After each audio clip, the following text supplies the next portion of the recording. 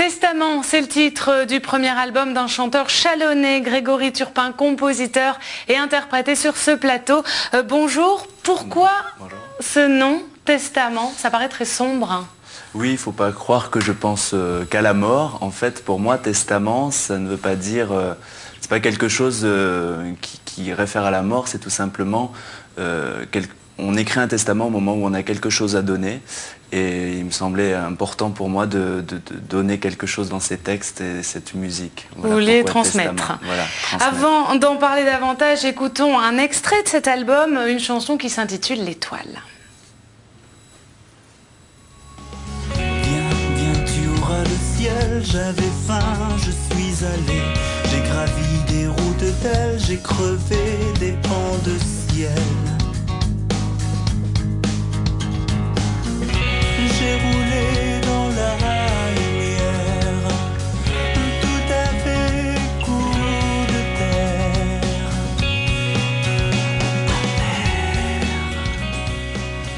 Donc le ton est assez euh, rêveur, mais les paroles sont souvent celles d'un homme blessé. Euh, c'est votre expérience? Oui, en fait, euh, j'ai commencé la musique très tôt, vers l'âge de 12 ans.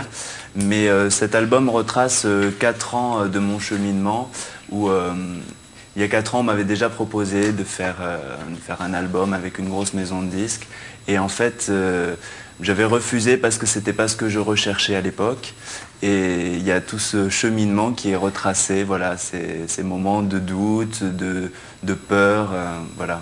Comment on fait pour euh, sortir du lot quand on est un, jeune artiste en région? Euh, C'est assez difficile, alors il faut aller frapper à beaucoup de portes, ce que je fais régulièrement. Et puis, il y, a une part de talent, mais il y a aussi une part de chance qui est inévitable. vous vous battez en tout cas en ce moment en ce moment, oui, j'essaie de faire connaître ce que je fais, oui. Très bien, merci beaucoup. Euh, Grégory Turpin, je rappelle le titre de votre album, donc Testament.